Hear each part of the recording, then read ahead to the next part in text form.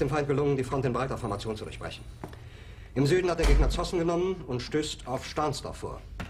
Der Feind operiert jetzt am nördlichen Stadtrand zwischen Frohnau und Pankow und im Osten ist der Feind bis zur Linie Lichtenberg-Marsdorf-Karlshorst gelangt.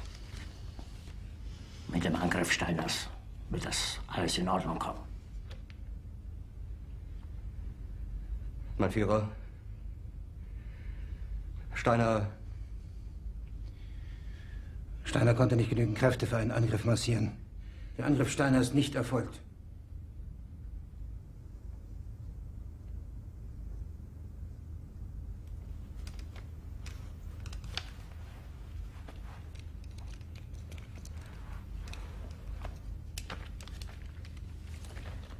Es bleiben im Raum Keitel, Jodl, Krebs und Burgdorf.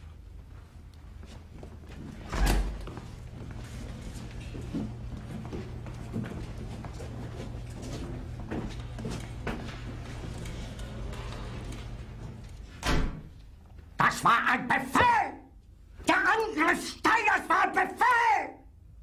Wer sind Sie? Dass Sie es wagen, sich meinen Befehl zu widersetzen! So weit ist das also gekommen.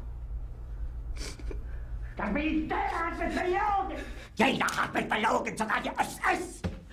Die gesamte Generalität ist nichts weiter als ein Haufen niederträchtiger, treuloser Feiglinge! Mein Führer, ich kann nicht zulassen, dass die Soldaten, die für Sie verbringen... Nicht als Feiglinge! Verreiter, Versager! Mein Führer, was Sie da sagen, ist ungeheuerlich. Die Generalität ist das Geschmolz des deutschen Volkes! Sie ist ohne Ehre! Sie nennen sich Generale, weil Sie Jahre auf Militärakademien zugebracht haben, nur um zu lernen, wie man Messer und Gabel hält! Jahrelang hat das Militär meine Aktionen nur behindert! Es hat mich jeden nur ersichtlichen Widerstand in den Weg gelegt! Ich hätte gut daran getan, von Jahren alle höheren Offiziere liquidieren zu lassen, wie Stalin!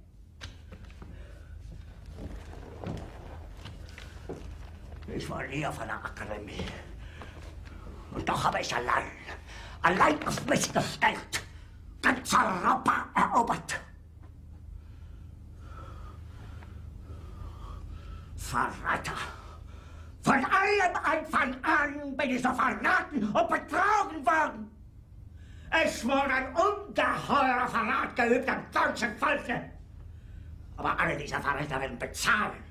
Mit ihrem eigenen Blut werden sie bezahlen. Sie werden es saufen in ihrem eigenen Blut. Bitte gerne. Jetzt beruhig dich doch. Es ist aus.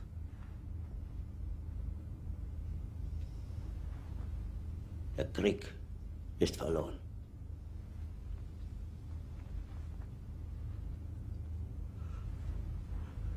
Aber wenn Sie, meine Herren, glauben, dass ich deswegen Berlin verlasse, irren Sie sich gewaltig. Eher jage ich mir eine Kugel durch den Kopf.